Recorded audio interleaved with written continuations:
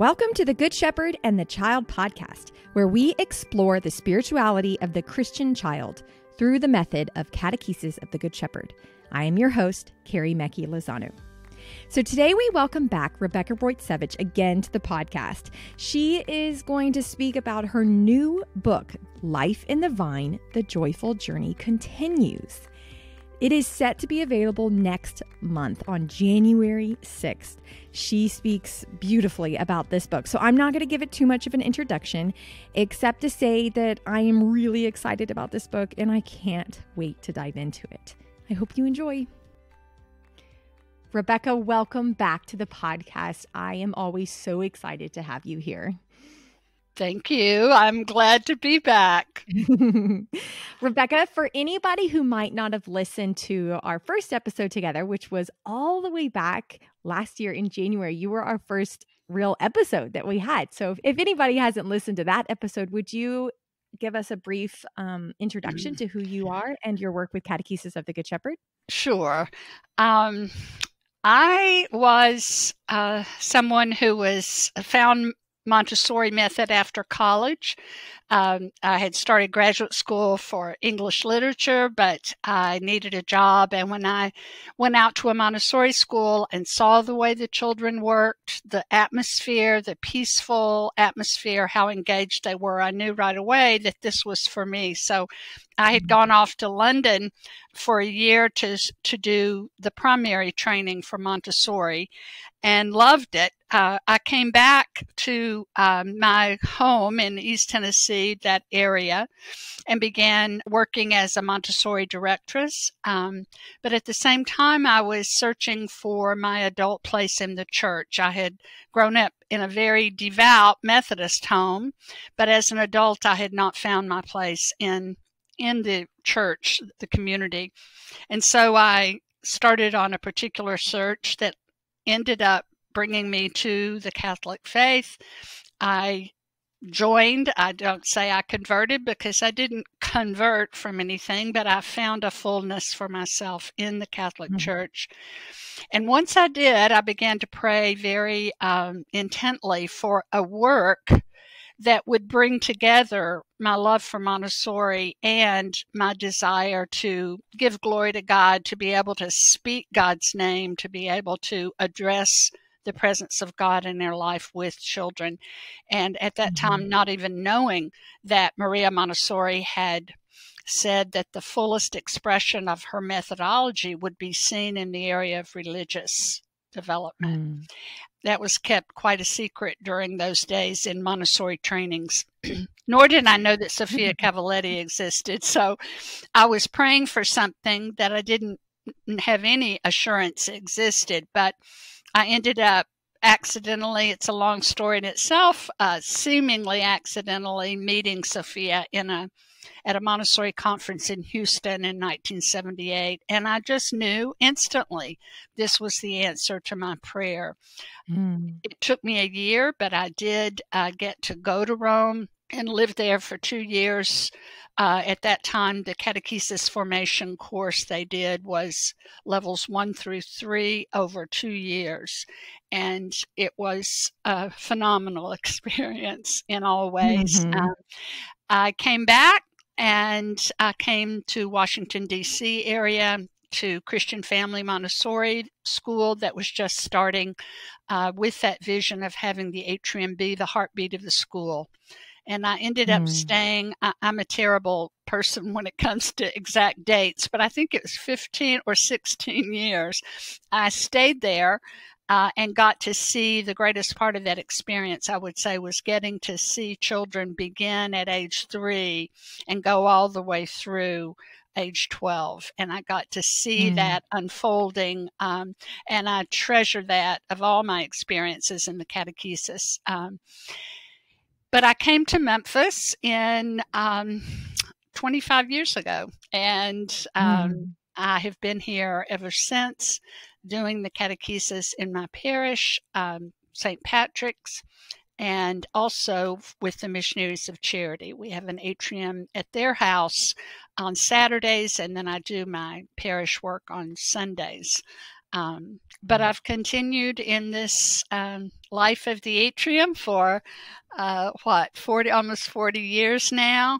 Um, and i've had the good fortune of learning to translate sofia's work uh, doing translations and and, and writing. Mm-hmm. so i've i've stayed in the world of the catechesis consistently um, and it's a good place to be Yeah.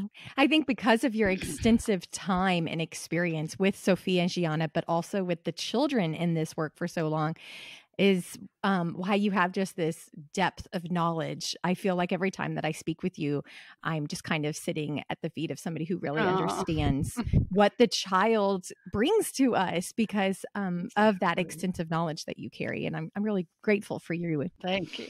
Well, you also are an author as mm-hmm. well. And um, this is going to be a big year for you because um, another book of yours will be coming out. Yes. Would you tell us a little bit more about that book and how did this book come to be? Like, what's brought this right. book about? This book came to be because Sofia's books that she wrote, The Religious Potential of the Child, when the first one came out, relative to the three to six year old child. There was a bishop in uh, Canada, Bishop Marcel Gervais, and he had responsibility for catechesis, Catholic education throughout Canada. And he is one of those gifted adults who saw immediately that the catechesis of the good shepherd was he's a beacon of hope for the church hmm. and so hmm. he wanted a book that would make the riches of the religious potential even more accessible. He rightly recognized that the religious potential of the child is a powerhouse of mm-hmm. theology, of poetry. It's such a beautiful testimony to the children through their comments and their artwork. Mm-hmm. But he also recognized that for the average layperson, it, it was a daunting book. Mm-hmm. Um, so he wanted a book that would somehow make it more accessible, both to parents and to potential catechists. Mm-hmm. He also had a vision that there would be an atrium in every area of Canada. He knew better than to mm. mandate it. Uh, he knew mm. it cannot be mandated, but he wanted it to be visible and present. And so the first uh, joyful journey, we tend to refer to it as, that Patricia Coulter put together with Sofia, and she had contributions from Gianna and Silvana. That book came out in the late 80s. Don Bosco had published it, and then in the early 90s, LTP printed it, published it for wider mm-hmm. distribution here. Well, when Sofia came out with Religious Potential 2 in 2002, we began to live the contents of that book and began to read and apply it and ponder it and so forth.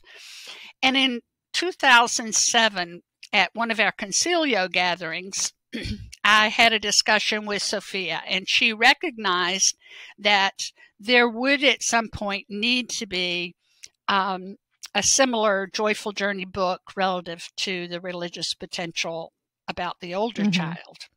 And I committed that I would do that, that I would love mm. to do mm. that. That was, mm. what are we mm. talking about, 13 years ago? Yeah. And so, uh, another beauty of this work is that we we trust the timing of the Holy Spirit. And so, although I committed to do that, and when I came back, LTP knew it was coming down the pipeline at some point. we're talking uh, over 10 years ago that LTP mm-hmm. was waiting for it. And uh, wherever I would give trainings, I would, you know, people would say, Is there going to be a joyful journey? Uh, yes, I'm working on it. but the truth is, it took me as long as it took me to know what is the right framework for such a book. We know mm-hmm. it can't be a user's manual in the sense of say this, do this, next do that. You know, we mm-hmm. knew that is not uh, conducive to the work of the catechesis. So I was praying, searching. I was always writing the book in my head. but I didn't have the right framework yet for it. Till about five years ago, we were planning for a, a level two formation leader uh, seminar in Atlanta.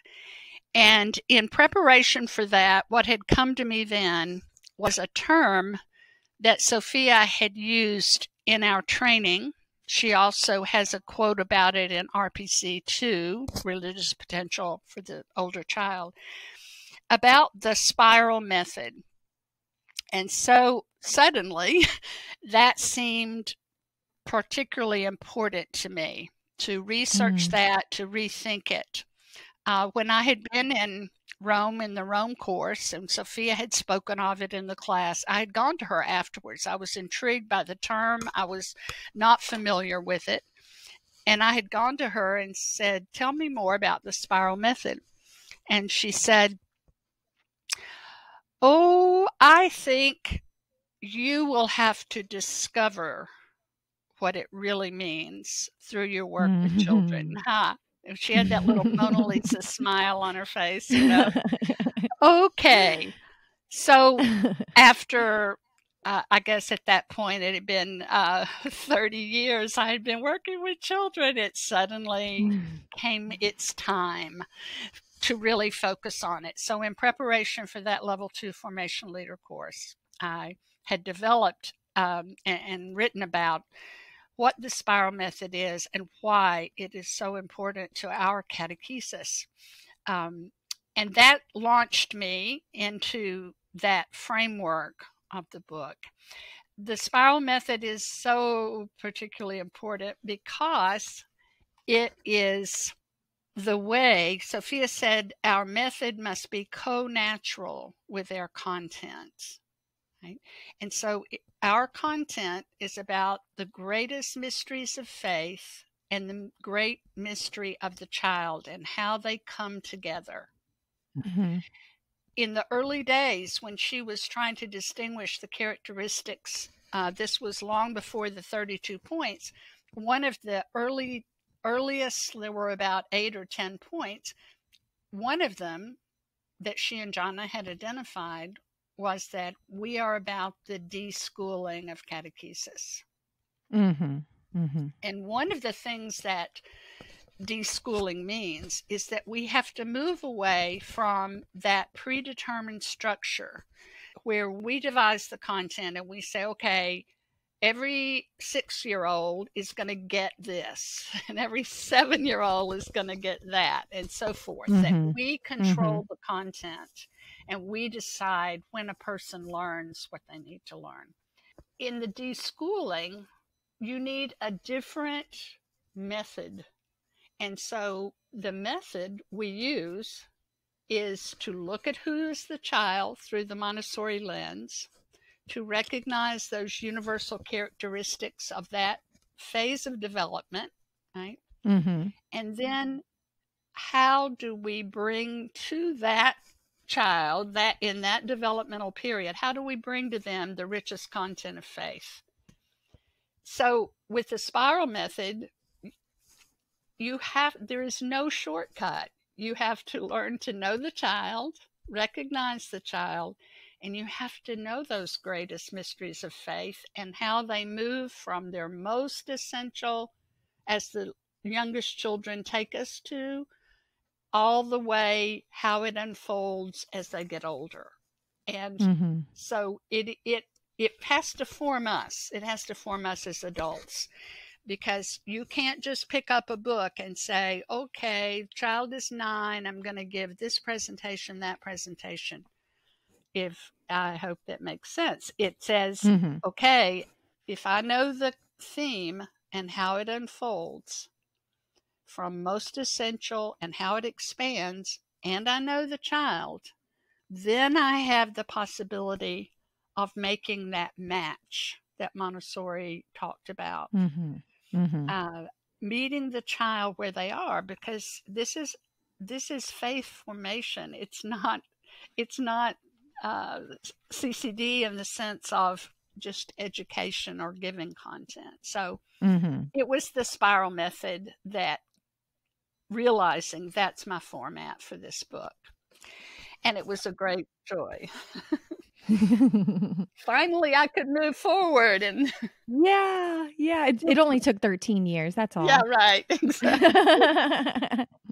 well, I'm so grateful that God inspired you with the spiral method. And now we are going to have this really beautiful book. And when you speak about the spiral method, Rebekah, um, I just want to clarify that you mean how, like in level one, we hit these beautiful themes and then in level two, we hit them again, but on a deeper level, following the child. And then again in level three, like this, yeah. um, where we going around and around these Mhm. themes, but on a bigger and a deeper level as the child is progressing in their spiritual Right. growth and faith and age.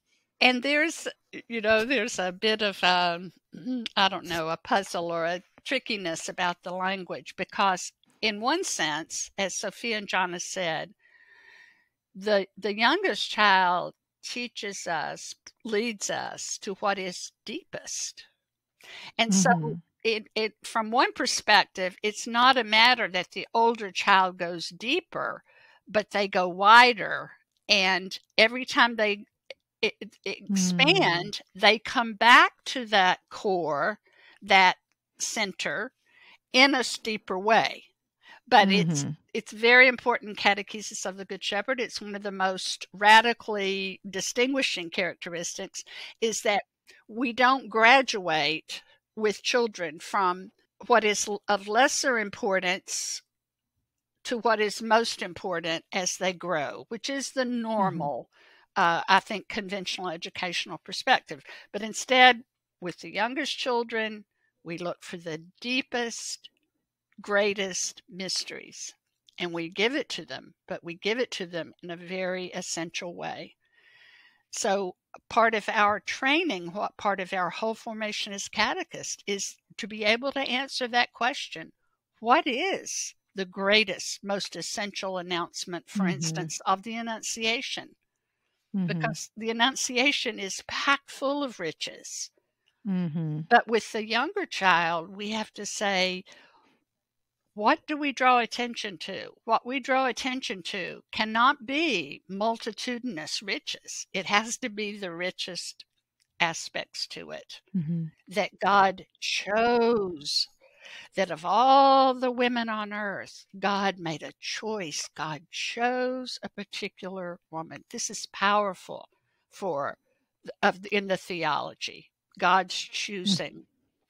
Uh, so the spiral method is essentially to know what the fathers of the church called the vital nucleus of of a theme of a religious reality. We have to know its vital nucleus, and then once we know that and can can embrace that, then it will lead us into these expanded detail but we have to know the core. We have to know Mhm. the heartbeat of the theme. And so the spiral method is is learning to honor that as led by the children.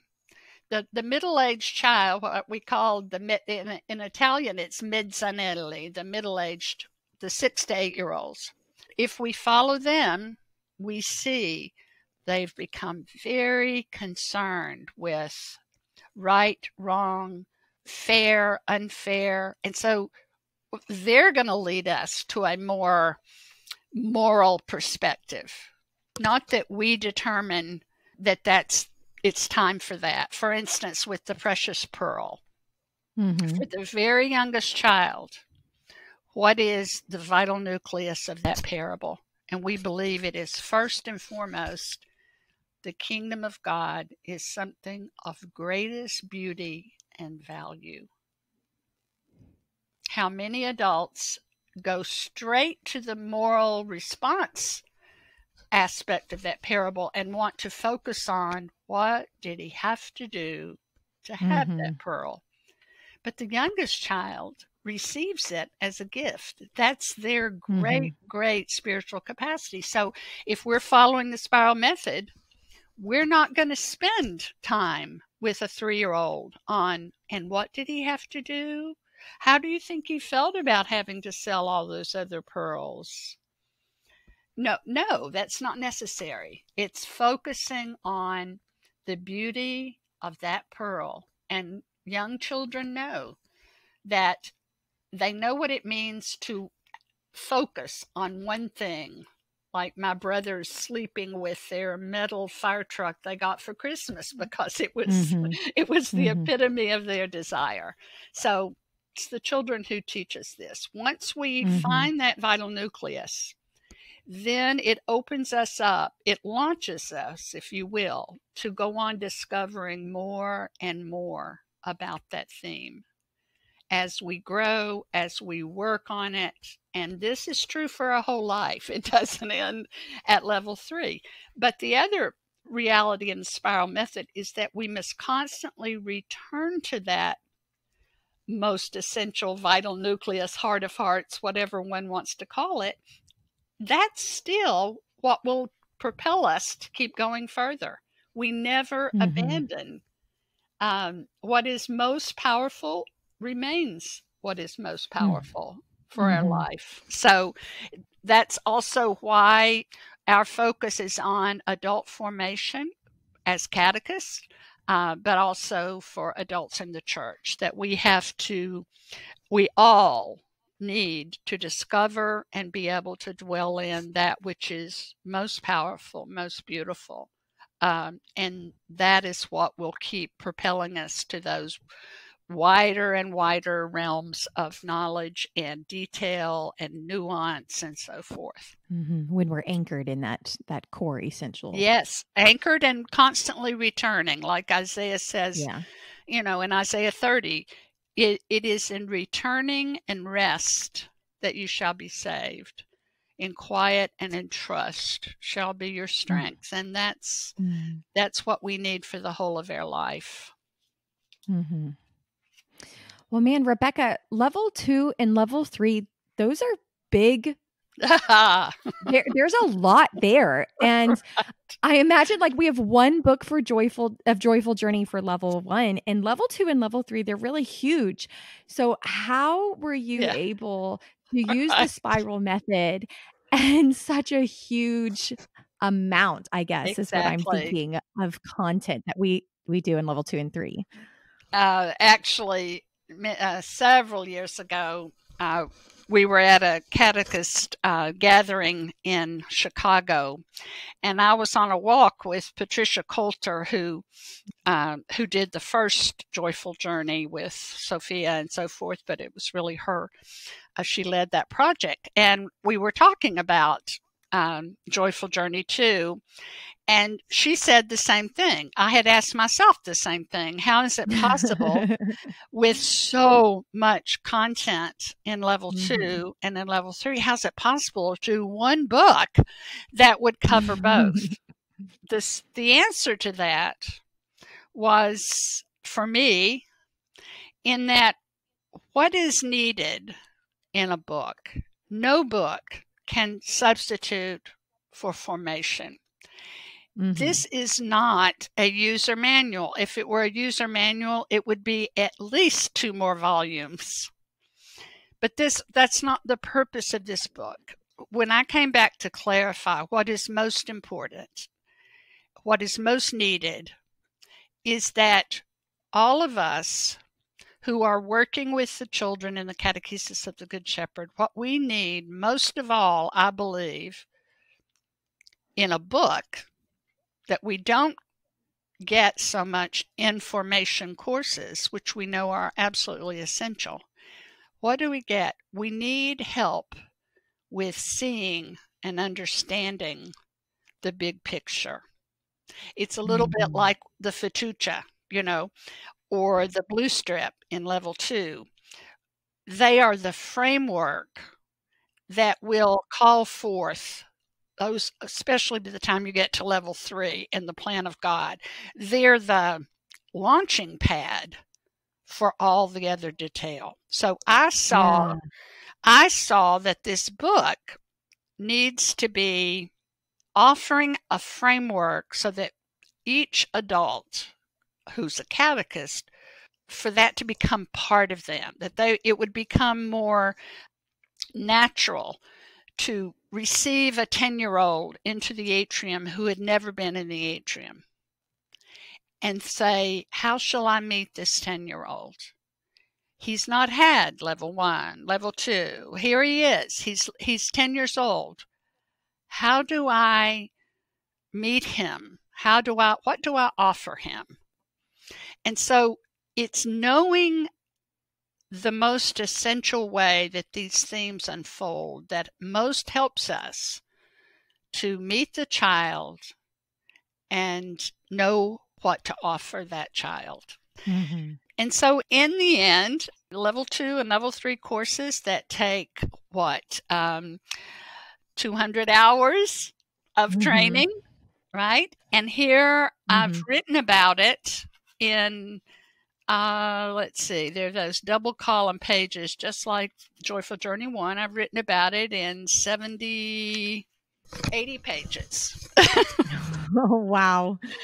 And wow. so obviously, it's not a detailed how to present everything we mm-hmm. do with older children. Chapter one is going to be returning to the youngest children. Uh, it's called the chapter one is called Wisdom in Early Childhood.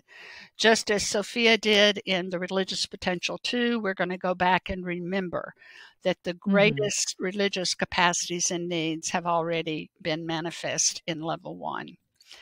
Mm-hmm. And yet, there's that third greatest religious need and capacity that does not manifest itself until level two, and that's the to explore and enjoy the mystery of time. But I go back to them, to the youngest ones, for in the first chapter.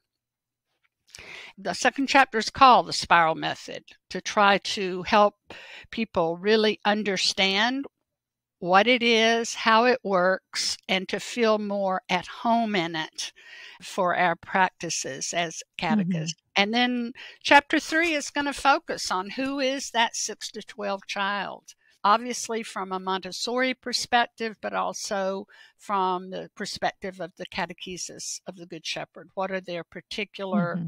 religious leanings, needs, capacities? And then starting in chapter four, I'm going to look at each of these greatest themes and how it unfolds, and not just from level two to level three, it has to start with level one. Mm-hmm. So mm-hmm. it's it's in each chapter. So, for instance, chapter four is the the mystery of Christ, and that includes the covenant relationship, the mystery of the incarnation, the Paschal mystery, and in each of those subtitles, I'm going to show, try to show how what is the most fundamental level of that mystery. And and who has shown us that? The youngest mm-hmm. children. So i'm going to go from youngest to middle age to the older child in sh- trying to show what sofia also called the bud to flower unfolding of that theme. Mm-hmm. um, chapter five will be the kingdom of god um, but it's also it's the mystery of the kingdom and then it's for older children also the history of the kingdom. That's mm-hmm. the biggest chapter.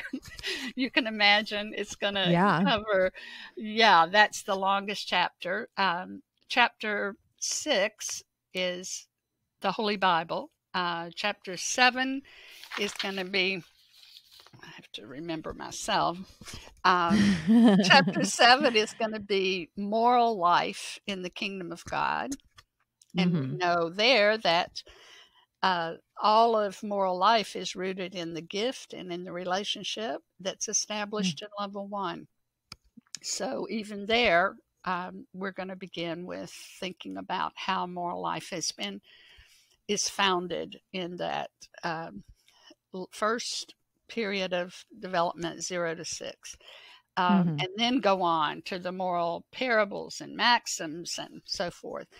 Chapter 8 is living the covenant. So this we know one of the great themes of the catechesis is the unity of Bible and liturgy. And I have mm-hmm. mentioned the liturgy in all those other chapters. But now in chapter 8 it will be looking more at specifically prayer and the sacraments and how they unfold um, from level one through level three. And finally, chapter nine is cosmic education, one of the great themes um, of our catechesis, um, which was, as we know, a Montessori term, but it's a way of saying, what is our real goal here? Mm-hmm. Um, and cosmic education is a term that brings that all back to what is it that we're really most trying to do? To orient, mm-hmm. Sofia said, orientation to reality. And yet, mm-hmm. what reality are we talking about? Um, we're talking about cosmic reality, God's reality. Um, and so that last chapter is on cosmic education. Um, mm.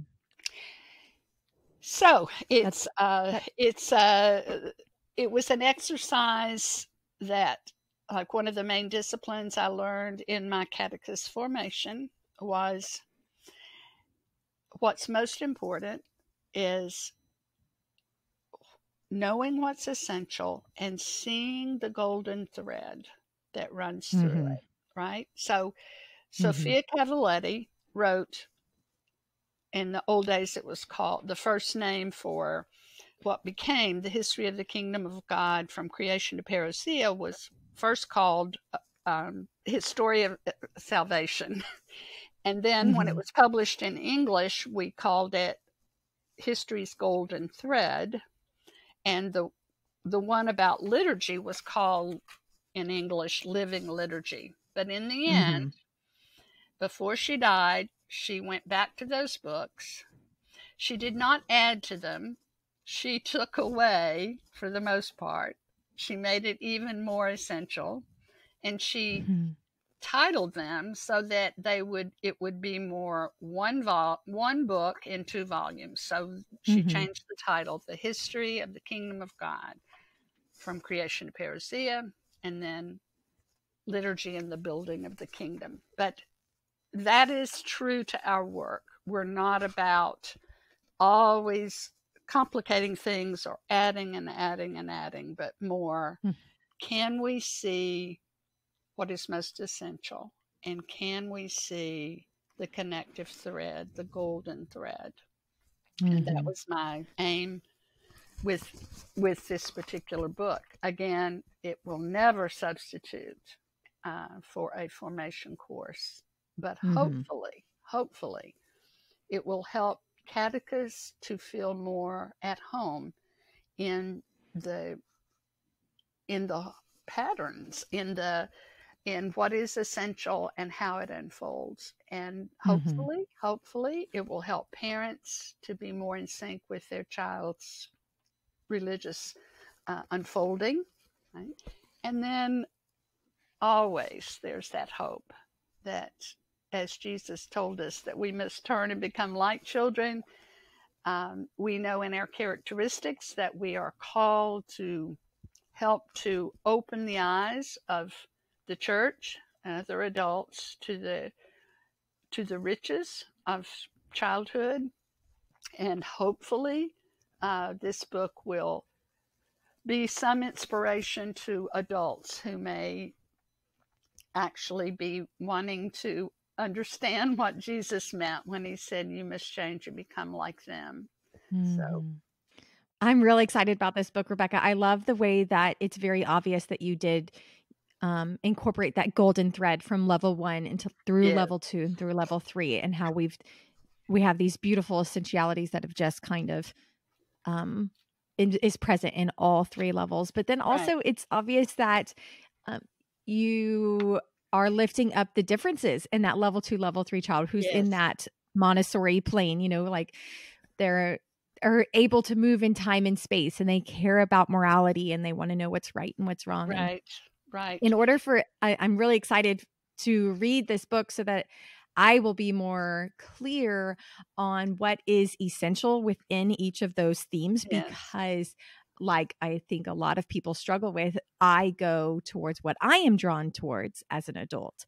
Right. Um, but right. like you're saying, right. what I heard you say earlier is that that we have seen time and time again that the children are showing us that that is not what usually Right, is not what is most essential. One of the uh, examples of that for me was in realizing in writing the book, it came became more conscious to me that in level two, they speak in we terms.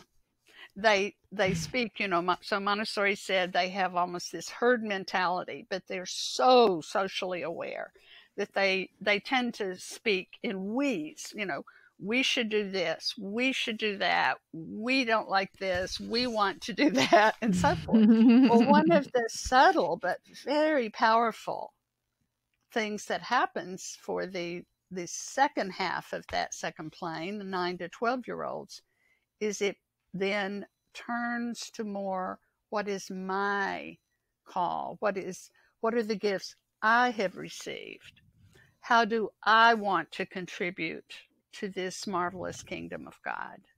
Hmm and when you're sensitive to that when you're you know when you're open to that you see that that's what enables you to meet that child where they are uh, but it's all the that awareness of that, that's built up in us through Mon- Montessori understanding of the child, but also through the life of the atrium, that we become more and more at home with the, with the mystery of faith, Mhm. and more at home with who the child in front of us really is because it's Mhm. always a problem it's always not problem in a negative sense but it's always the challenge of the match hmm Well, Rebekah, is there anything else about the book or this work that you would like to speak into before we finish today? i would want to remind people that the what i think of as the gospels of our work are already written um, they're the religious potential of the child one and two they're book on listening to god with children where she talks about how the montessori principles are are uh, infleshed in the atrium we Mhm. already have if you will the gospels then we have what i i don't want to sound presumptuous but I, as i've thought about this joyful journey 1 and 2 are to me more like the letters the epistles in terms of Mhm. this is how it it's lived this is uh, relative Mm. to the actual atrium life this is breaking it down in a way that makes it more accessible then there's another category of of writings that we have to always remember um, one would be these books that some catechists have written that are more testimonies to the children themselves. And as I point out in Mhm. the preface to this book, that's a deficit of this book.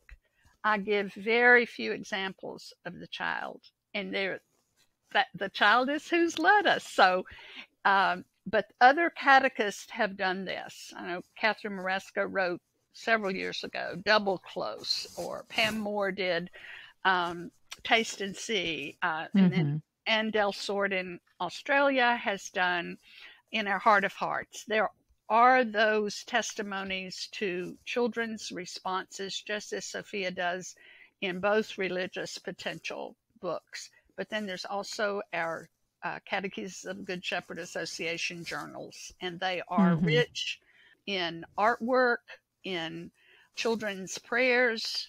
I particularly love the uh, testimonies of what we called in in um, in Italian ex bambini, those children who grew up in the atrium and are giving testimony as adults um, to the role that Catechesis of the Good Shepherd has played in their lives. So there are are many sources, there are many resources we have uh, for this ongoing um, understanding and appreciation of both what the catechesis of the Good Shepherd really is and and how it lives um, in the children's lives. Mhm. So, th- in Yeah. other words, this doesn't. the purpose of this book is not to be the be all end all of what is catechesis uh, of the Good Shepherd, but it's meant to to ha- it has its own purpose of helping us to be clearer about what is what are the most essential mysteries of faith? How do they evolve? How do they unfold as the children have shown us? And mm-hmm. well i'm really grateful that you have spent the last 13 years thinking and praying about this book and that it is finally ready for us to be able to read. I am so grateful for your diligence and that you stuck with it maybe now i can i can go write a novel or poetry or who knows a, it won't be a yeah. cookbook but anyway it does it is, i do celebrate too just because it has been uh, in the forefront of my thinking for so long so i'm, yeah. I'm glad to thank you carrie yeah, thank you so much. I'm so excited to read this book in January when it comes out. Thank you for talking with us about it and for gifting us with this little present. My my delight. Thank you. Thank you all for listening. In the show notes, you can find a link so that you can pre order your copy of Life in the Vine The Joyful Journey Continues. The book is set to come out on January 6th, so less than a month away. If you don't already own a copy of Religious Potential of the Child 2 for the 6 to 12 year old, you might want to order a copy of that along with your copy of Life in the Vine. Our CGS USA e store has a lot of different Advent items that you might be interested in, and a lot of items that you could use as gifts as well for your Christmas season. Remember that at the CGS USA e store, your purchase has a purpose. We have also begun our annual appeal for CGS USA. Our goal is $100,000 by the end of 2020. So we ask you to please prayerfully consider financially joining CGS USA on our mission. This podcast is sponsored by the United States Association of Catechesis of the Good Shepherd. We want to thank all the contributing members of the association because you are making this podcast possible. If you want to know more about Catechesis of the Good Shepherd, or if you would like to become a member, please go to cgsusa.org. Thank you all for joining us. We will see you in two weeks. Go and fall more deeply in love with God.